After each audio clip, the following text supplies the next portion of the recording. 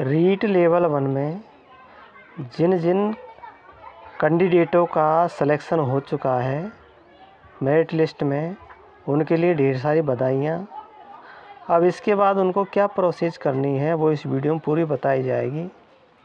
Video को last तक देखना, आपको कौन कौन से डॉक्यूमेंट की आवश्यकता होगी और उन डॉक्यूमेंटों को किस तरह से आपको तैयार करना है, वो इस वीडियो में आपको सब कुछ बताया जाएगा। तो सबसे पहले आपको ज़रूरत होगी मूल आवेदन पत्र। यानी जो आवेदन पत्र आपने फॉर्म भरा है, उस आवेदन पत्र की आपके पास में एक प्रति होगी, वो आपके पास में होनी चाहिए। फिर दूसरी, आधार कार्ड। आधार कार्ड की साफ़ फोटोकॉपी आपके पास में होनी चाहिए। तीसरी है, टेंथ क्लास की मार्कशीट।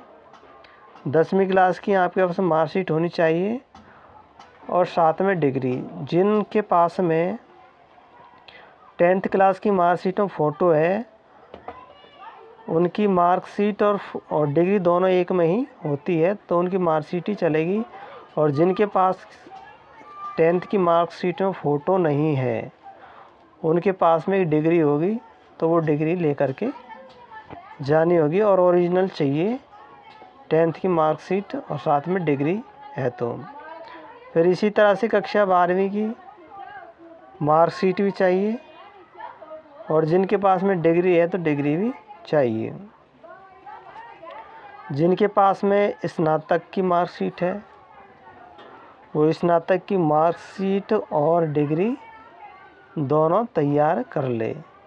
अगर आपने ये मार्कशीट डिग्री प्राप्त नहीं की है अपने कॉलेज से तो मा तो डिग्री ले लें। अगली है स्नातकोत्तर। जिनके पास में स्नातकोत्तर है तो स्नातकोत्तर की मार्कशीट ले लें। फिर बीएड जिन्होंने कर रखी है, वो बीएड की मार्कशीट ले लें और साथ में डिग्री भी प्राप्त कर लें यूनिवर्सिटी से। वो कॉलेज में आ गई होंगी। अगली है बीएसटीसी की मार्कशीट। साथ में डिग्री। फिर है डिप्लोमा।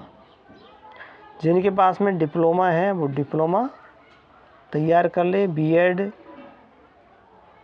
और वीएसटीसी की प्रवेश तिथि। यानी जिनके पास में बीएड है या वीएसटीसी है, उसकी प्रवेश तिथि होनी चाहिए।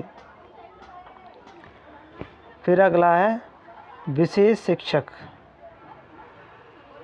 विशेष शिक्षकों के लिए भारतीय पुनर्निर्वास आर सीआई द्वारा जारी प्रमाण पत्र होगा।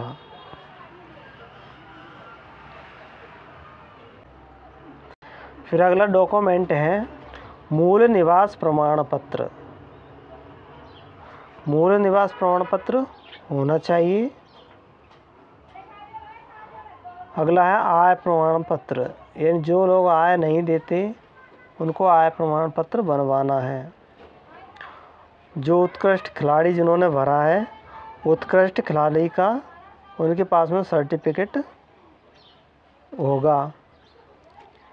अगला है जाति प्रमाण पत्र, यानी S T S C O B O B C और ई डब्ल्यू एस जिनके पास ये कैटेगरी है, उनके पास में जाति प्रमाण पत्र होना चाहिए और डिजिटल जाति प्रमाण पत्र होना चाहिए, जो ऑनलाइन ई मित्र द्वारा बनाया गया है, जिसमें टोकन नंबर होते हैं।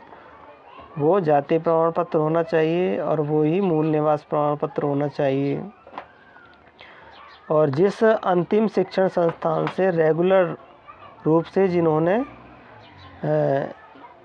एजुकेशन की है, उससे चरित्र प्रमाण पत्र लेना होगा।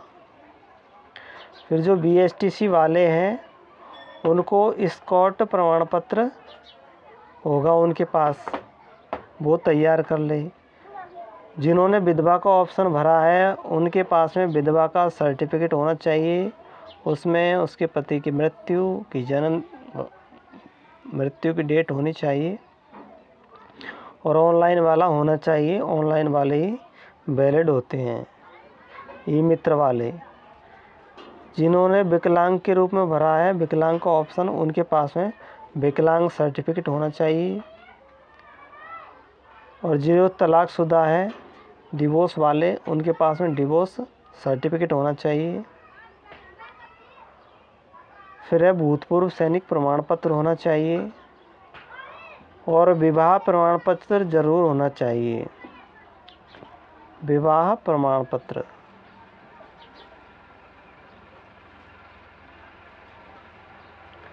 जिनके पास में विवाह प्रमाण पत्र है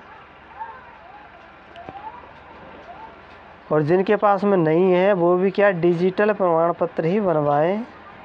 जो ऑफलाइन प्रमाण पत्र थे, उनको मान्य नहीं किया जाएगा, इसलिए आप डिजिटल डॉक्यूमेंट बनवा लें, तैयार कर ले, क्योंकि बाद में आपको दिक्कत आ सकती है। तो ये थे डॉक्यूमेंट जिनकी आपको आवश्यकता होगी। तो ये जितने भी आपको डॉक्यूमेंट की ज़रूरत है, वो इनमें से वो डॉक्यूमेंट तैयार करवा लें, क्योंकि वेरिफिकेशन में इन डॉक्यूमेंट्स की आवश्यकता होती है। वीडियो को लाइक कर देना, चैनल को सब्सक्राइब कर देना, और ऐसे ही वीडियो पाने के लिए बेल आइकन को प्रेस कर देना और नोटिफिकेशन को ऑल पर क्लिक कर देना। धन्यवाद।